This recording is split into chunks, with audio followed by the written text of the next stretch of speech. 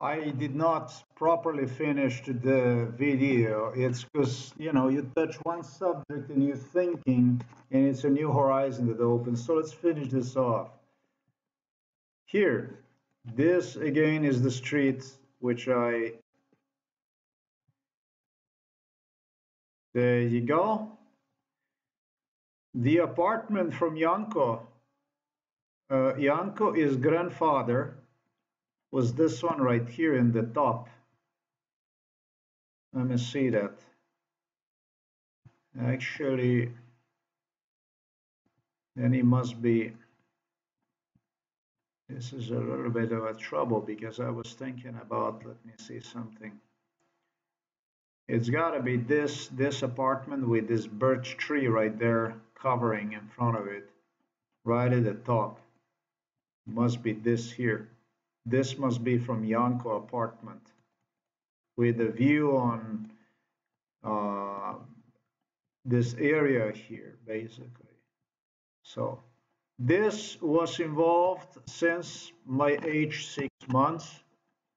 Uh, he would have the area of military personnel that would visit uh, his place they would visit him and would consent him on how to get me basically destroyed.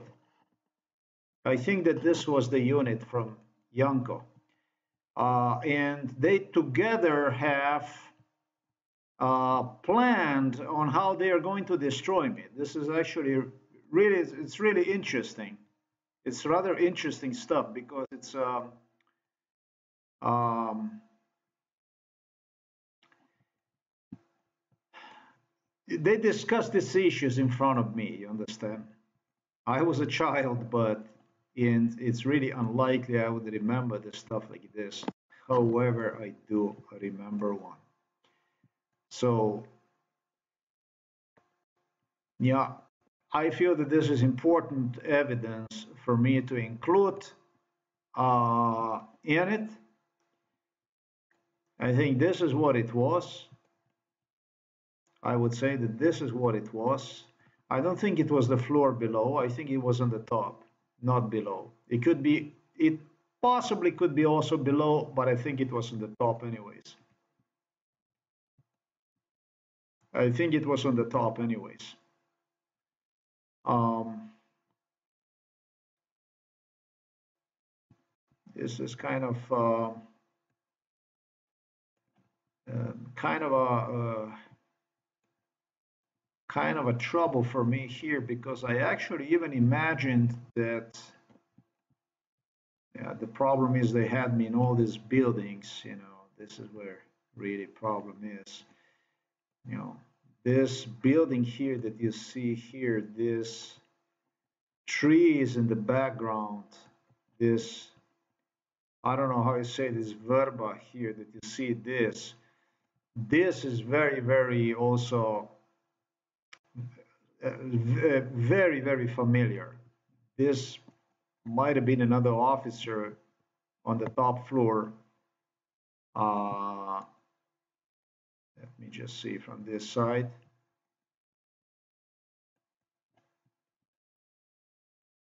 Balcony, I remember this balcony here with the view.